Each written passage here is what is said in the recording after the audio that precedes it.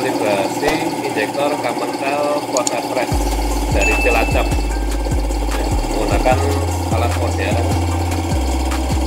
Nah, sistem komputer. Diharapkan hasilnya lebih datanya lebih valid lebih akurat dan tentunya bergaransi